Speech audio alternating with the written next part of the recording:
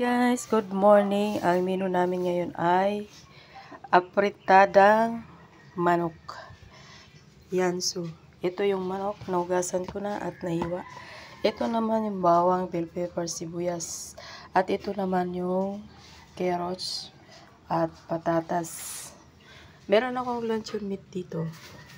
At ito ang gagamitin kong sauce. Yung ano, ready ready recipe na para tipid. Patatas. Ang ginamit ko mantika ay yung chicken oil na lang. Pinaano ko siya. Pinamantika ko yung taba manok. Next naman ay patatas. Ay, carrot. Dito natin sa brown butter.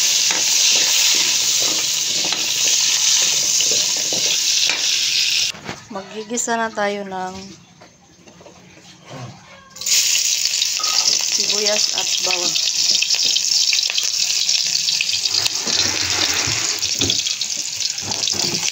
Sa pinagprituhan ng gulay. Siya, ilagay na natin yung manok.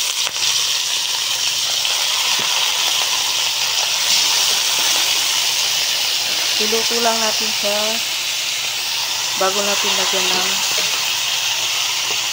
sauce.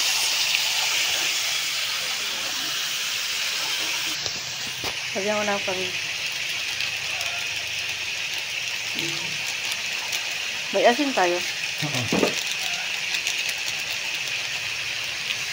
Okay na yung manok natin. So, lalagay ko na yung ready recipe sauce natin.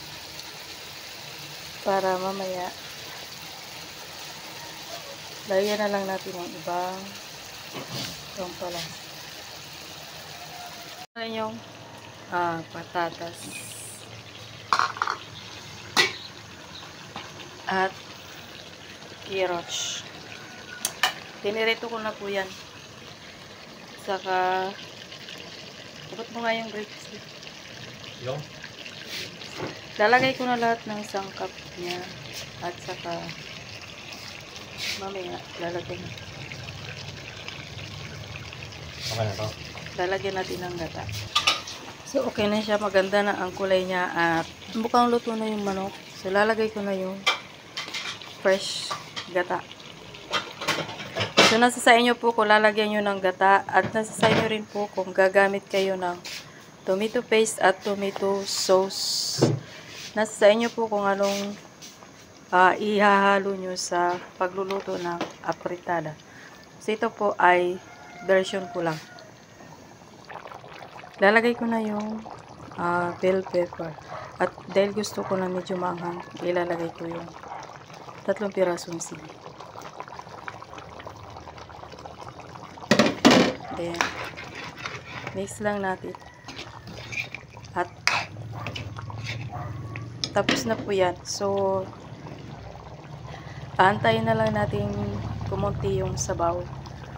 At, okay na po siyang i-serve. Ready to serve na po siya. No? Thank you for watching. See you next my next video. So, hanggang dito na lang po muna. At ako ay may gagawin pang iba. Thank you. Sana lagi nyo panoorin ang aking mga video. Maraming maraming salamat po sa lahat.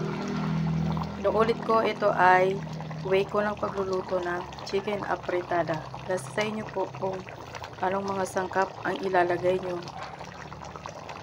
At bahala na po kayo doon kung marami pa kayong ilalagay at idadagdag. So maraming maraming salamat ulit. Thank you. Bye bye.